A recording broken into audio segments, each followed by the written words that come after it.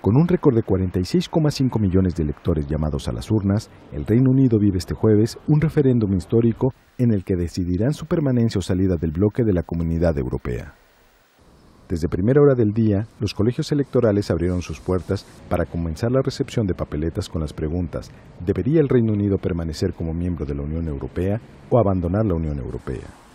En el plebiscito de este jueves pueden votar los ciudadanos británicos e irlandeses mayores de 18 años que residen en el Reino Unido y los ciudadanos de la Mancomunidad Británica de Naciones con residencia permanente en el país, así como los británicos que lleven viviendo en el extranjero menos de 15 años. De acuerdo al órgano electoral, se espera una alta participación en la consulta y los resultados se conocerán a primera hora del viernes, ya que no se contemplan encuestas a pie de urna. Sin embargo, se prevé un resultado muy cerrado entre ambas posturas.